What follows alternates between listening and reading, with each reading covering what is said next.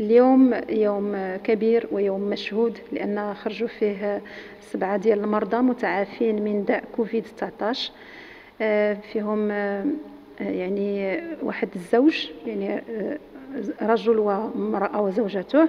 كنتمناو لهم الشفاء العاجل نتمناهم السلامة والسعادة. الزوج كان في الإنعاش لمدة أربعة أيام. ومن بعد تحسنت الحالة ديالو وداز الاستشفاء العادي مع مع الأدوية مع الرعاية الطبية.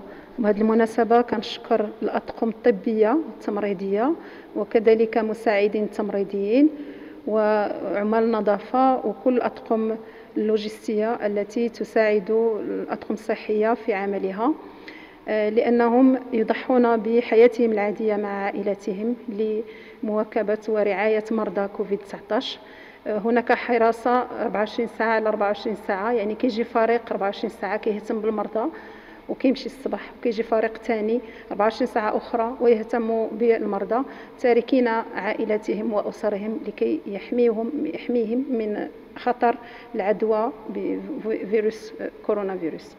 إذا هذا اليوم خرجوا هاد الناس حنا فرحانين بزاف كإدارة.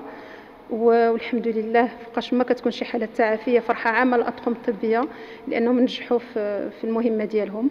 وبهذه المناسبة كنوجه رسالة للمواطن المغربي ومع تمديد آه، الحجر الصحي أن يحترم الحجر الصحي والإجراءات الاحترازية والوقائية التي دعت إليها وزارة الصحة. وكنشكروا الوزارة على الاستباقية ديالها والحكومة المغربية بكل مكوناتها جميع الإجراءات اللي يحتذى بها على الصعيد العالمي واللي اتخذتها منذ انطلاق جائحة كوفيد. إذا آه، الشكر الخالص للأطقم عاوتاني الطبية والتمريضية لتفانيها في أداء الواجب. والحمد لله هو واجب مهني وفي نفس الوقت واجب وطني. وهم جنود الخفاء. وهم جنود الجبهة الأولى معرضين حياتهم للخطر لإنقاذ الآخرين. والحمد لله عندما نرى البسمة على شفاه المتعافين هذاك هذاك هو الجزاء الحمد لله اللي عندنا في الدنيا.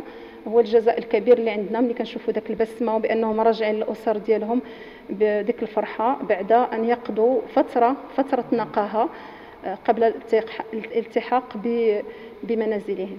بالنسبة للناس الرسالة اللي كنبغي نقدم آه، المغاربة آه، كافة تنقول لهم الله يخليكم حاولوا تلتزموا البيوت ديالكم في هذا الشهر رمضان الكريم لأننا خصنا ضروري باش نحاصروا هذا الوباء كاملين وتعاونوا معنا. والتزموا البيوت ديالكم التزموا البيوت ديالكم الله يخليكم آه، باش نقدروا نرجعوا للحياة الطبيعية اللي كنا عايشين فيها. وتنتمنى شفاء جميع المصابين في جميع أنحاء المملكة. شكرا.